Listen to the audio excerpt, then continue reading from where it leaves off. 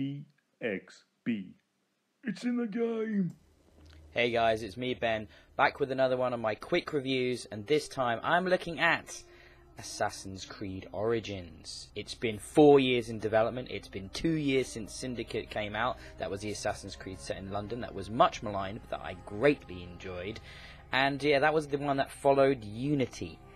Unity, which was the technical mess that in many ways killed people's enthusiasm for the Assassin's Creed franchise in general much to my chagrin, I am a huge Assassin's Creed fan. I have played and beaten every single Assassin's Creed game released to date, except those 2D ones that were released on the consoles that weren't really Assassin's Creed games. I did, however, beat the one on the Vita.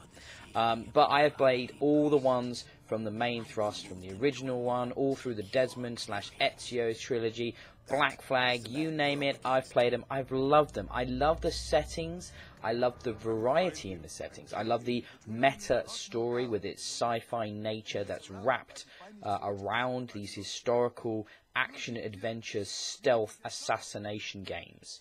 And the first thing you'll notice when you look at Assassin's Creed Origins is the setting being not ancient Egypt, but Egypt a long time ago. Um, and then you've also got the fact that this game looks amazing. Now, the footage you're looking at right now is captured on uh, an original Xbox One or an Xbox One S. It is not captured on a One X, and frankly, you can already tell how gorgeous this game is. I know it looks even better on a PS4 Pro, but let me just say, I am super excited to get my hands on my One X, which will be very shortly, and look at this game in 4K with HDR, with all the big improvements in performance that that will bring this game is going to be a technical powerhouse. I just know it. I can feel it in my bones. But I'm getting ahead of myself. I will definitely be coming back and looking at Assassin's Creed Origins on the Xbox One X shortly. So fear not, that's coming. But right now, the game already looks stunning, sounds stunning. You can see the production value. You can see the fact that Ubisoft throws millions of man hours and thousands of staff members at this. The, how they have their sort of decentralized development strategy across multiple development houses across the entire globe,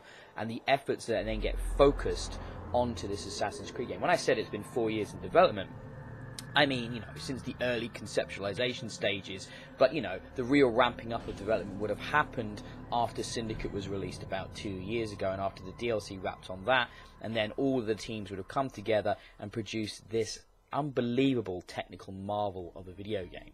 Now let's talk about the second most important thing that has been overhauled beyond just the visuals here. What we have is an incomplete redo of the way combat works in Assassin's Creed. Now, combat in Assassin's Creed up to this point has been very easy.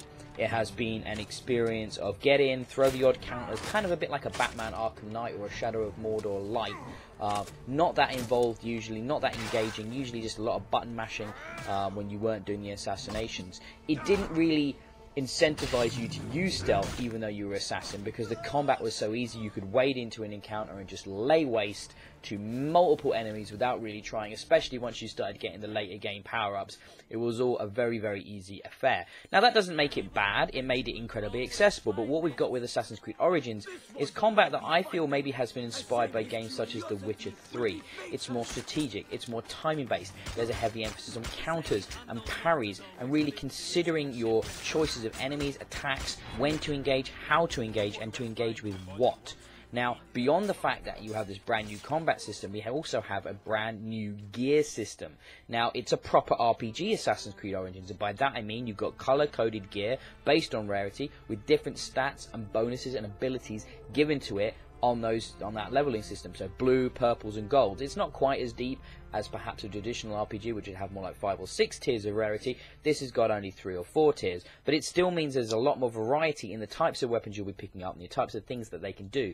Now that coupled with a sort of deeper skill grid, which goes into three categories: warrior, hunter, and other, though I can't really remember what that was. That's the tool-based um, sort of mercantile section, um, and that's means you've got a lot more customization and ability to really play Assassin's Creed how you want to play it. Now, this world is probably the biggest Assassin's Creed world we've ever seen. Vast swathes of beautifully rendered desert, which look just unbelievable at night time. Oases, places like the historical cities of Alexandria, which are just these bustling uh, Egyptian metropolises full of life and culture and art and different races and the tensions that those brings.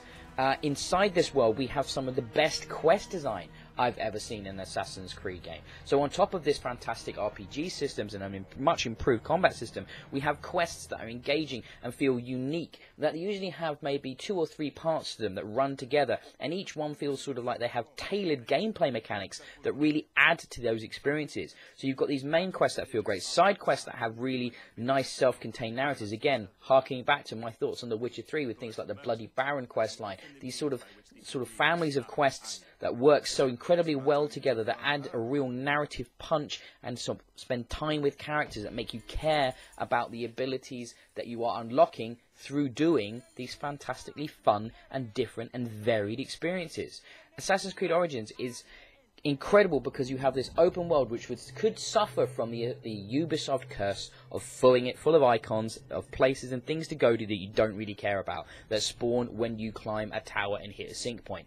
That has also been changed. No longer does all the map reveal itself to you uh, when you just go up a sync point. The sync points are mostly used as just fast travel locations, so you do still need them, but it doesn't reveal everything in that nearby location. You still want to explore, and exploration is so organic, organically kind of um, incentivized through the discovery of things like tombs, hunting locations, different events, bandit camps, necropolises, you name it, there's so much stuff going on here, but it doesn't feel like a, a world just filled with cookie cutter bullshit. It feels like everything has been thought out and honed, and there is a, such a, a great level of craftsmanship to every facet of Assassin's Creed Origins. It truly is remarkable. So, we've talked about the weapons, we've talked about the leveling system, we've talked about the amazing sort of story structuring and, and character interactions. I mean, you play as Bayek, and at first, yeah, this game suffers from a pretty atrocious introduction segment, but once you get out of that and get to the wider world and really start to explore Egypt, you're let loose to do these things in any way in which you want. And it really it just opens up. It's so gorgeous. You it has that feeling of Zelda Breath of the Wild. Now, obviously, the Zelda Breath of the Wild has been in development for a really long time and didn't directly influence Assassin's Creed Origins, but it's that kind of world that makes you want to poke into every crevice and every corner to defi- to find the lore, to explore the worlds, to find enough interesting character to interact with.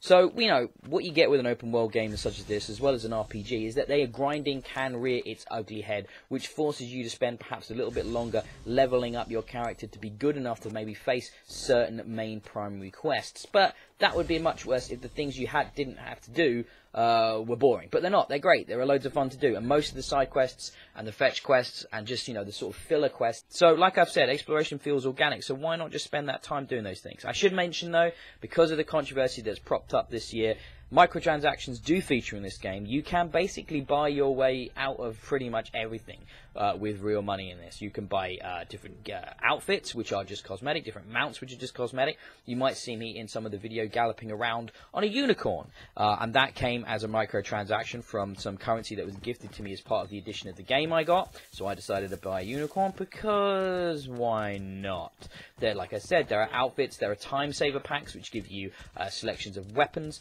uh, and then there are things like you can buy currency and then the raw materials to like do crafting in this game. Crafting plays a pretty large part of this game, but they're easy to get. You know, you can either hijack the resources, or you can just go out and hunt and get the resources that way and do a little bit of gathering to upgrade your gear to be higher level.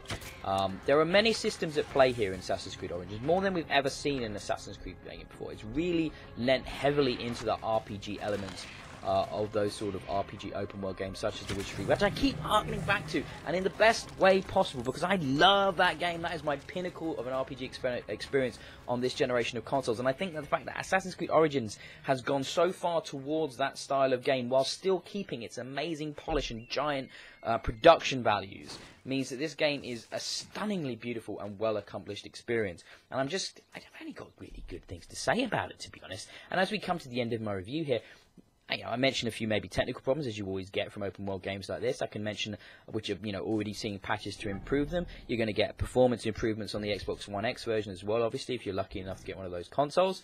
I just really enjoyed this. From you know, there's so much variety in those missions. I should mention that there are some amazing tombs you can explore. There's naval combat in here from like Black Flag, which you wouldn't necessarily expect in a game sitting in Egypt, full of deserts. But you know what? There's the Nile, and there's they're not that far from the sea. So yeah, there are missions that focus around naval combat, which feels just as good as it did in those previous games. You know, there's so much in here. This is AAA at its most AAA, and that means, of course, it's microtransaction supported, and maybe that means you knock a point off of it for that. But in my mind, it doesn't affect the gameplay. You don't need to buy anything with real money. Not at all. Not to enjoy this game. So because of all of that, because of my effusive praise, I can't give Assassin's Creed Origins less than five stars. BXB. It's in the game.